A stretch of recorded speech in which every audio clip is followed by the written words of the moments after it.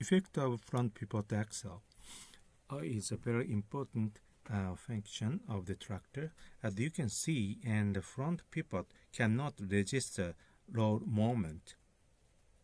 Therefore, the, it's uh, almost turn over. But uh, in this case, uh, mu uh, friction coefficient is 1 and tractor didn't was not able to turn over.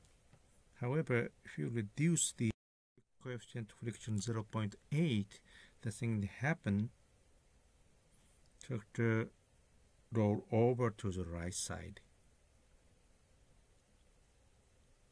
It's very clear and a pivot.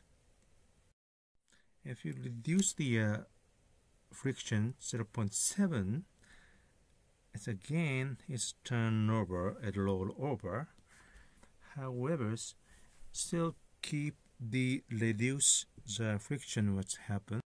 Uh, friction coefficient becomes 0.6. In this case, tractor does not roll over. Then what happened? 0.5. In this case, tractor turned the curve safely. It's quite safely. Then still keep the uh, frictions. It's become 0.4. At that cases, instead of the rollover, it just slip, run off from the road. Thank you.